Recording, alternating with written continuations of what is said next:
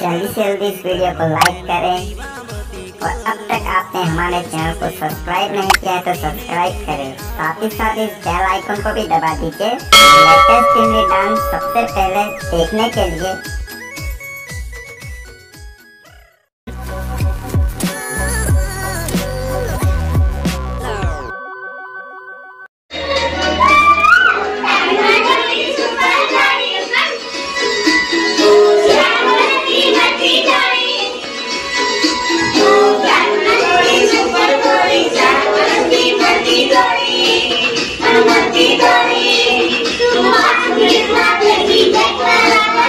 Bye.